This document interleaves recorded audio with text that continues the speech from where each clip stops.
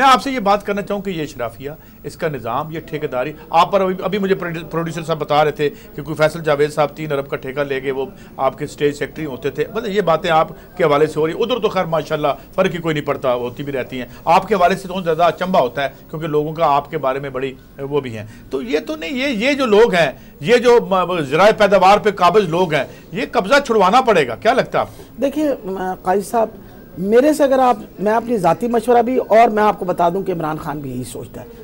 क्योंकि मैं इमरान खान के साथ हूँ इसी वजह से कि वो इस तरह सोचते हैं। क्रॉस द बोर्ड हर बंदे का एहतसाब होना चाहिए, किसी को ना बख्शे आप। आप चाहते हैं कि पाकिस्तान में तरक्की हो, आप चाहते हैं कि पाकिस्तान के हालात बेहतर हों, आप चाहते हैं कि पाकिस्तान के गरीब के हालात बेहतर हों।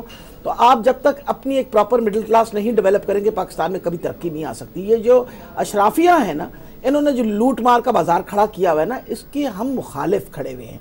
वजह यह है, आप और मैं, या भट्टी साहब जो हम बैठे हुए हैं सारे, हम कौन हैं? We are the middle class हम कहाँ से आए हैं?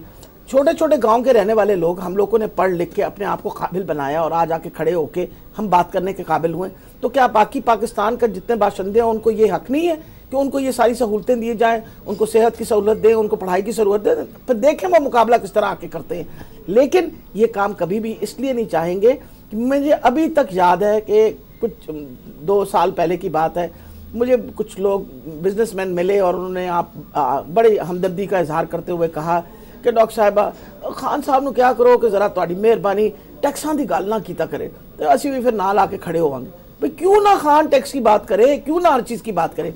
जहाँ तक प्री बागिन का ताल्लुक है इमरान खान साहब ने मैंने हर बंदे ने हमने इसके खिलाफ बात की। हमने कहा बिल्कुल प्री बागिन नहीं होना चाहिए।